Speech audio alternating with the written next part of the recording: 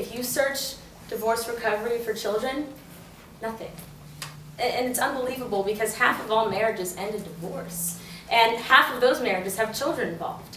And the fact that there's nothing out there to help them cope with understanding what divorce really means, it's unbelievable and very discouraging. So that's why I created this program because maybe it can catch on.